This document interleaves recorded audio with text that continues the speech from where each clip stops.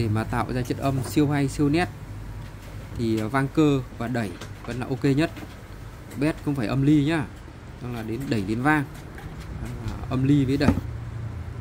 Cặp tép 1 triệu này thì nếu mà anh em dùng vang cơ với đẩy thì có thể nói là mỹ mãn luôn. Đến 20 sò 40 sò. Vì đây là cặp tép 350 à, ờ, nó được lắp trong ờ, các loại loa full bass 30 mà anh em đang dùng. Chúng tôi thiết kế rời rồi. Vậy anh, anh em đấu như theo cái hình ảnh nhá đối với đít đẩy này đít loa đều được hoặc đít âm ly. Dây thì chúng tôi làm dày sẵn một mét rồi. À, đỏ là cộng cặp 1 triệu đây. Vang cơ và đẩy thì nó là đầu bảng siêu nét luôn. Đây là cặp tép của những uh, dòng loa full mà anh em đang dùng. Chính là loại này nhá.